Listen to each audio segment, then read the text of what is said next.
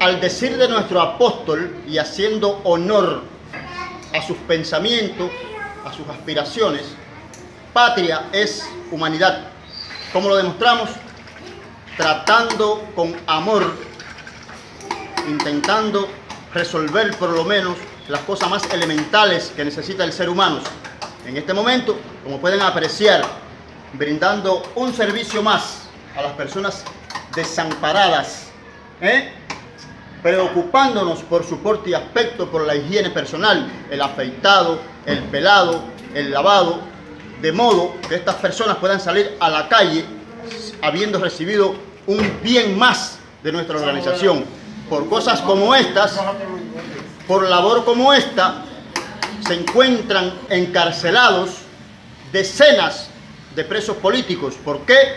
Porque la dictadura tiene terror al bien, tiene terror al mérito, porque son malos y solo desean el bien para sí. Nosotros no nos vamos a detener y mientras exista, reitero, repito, mientras exista un activista nuestro en las calles, jamás la Unión Patriótica de Cuba va a dejar de desempeñar sus funciones de llevar a la población, de tender al necesitado una mano amiga.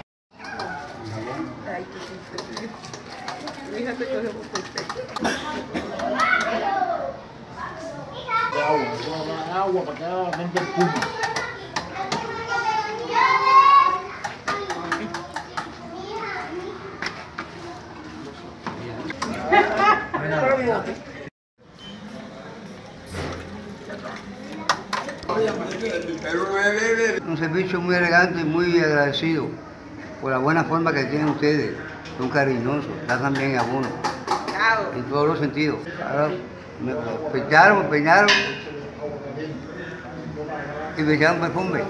Bien agradecido en todo. He estado operado, aseado, peinado, inclusive con buenas atenciones para que lo- la cosa sea subiendo y que todo quede más, más lindo todavía. servicio muy agradable de los- pues, nuestros hermanos. Afeitarnos, eh, perfumarnos, pelar- peinarnos, asearnos, Se siente mejor, ¿eh? así, bien fresquecito. Muy buena atención.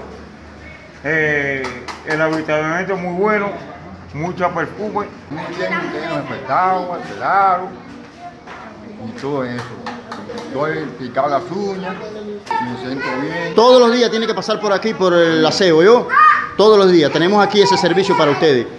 Diariamente deben venir a asearse, ¿eh? a pelarse, a afeitarse. ¿eh? Y poco a poco vamos a ir avanzando, en la medida que nos permita la dictadura. Vamos a ir avanzando en la atención a ustedes. Sí, sí, vamos a trabajar en todas sus necesidades. Repito, en dependencia de hasta donde nos deje la dictadura que está persiguiéndonos para que nosotros no podamos brindar este servicio a los desamparados. ¿De acuerdo?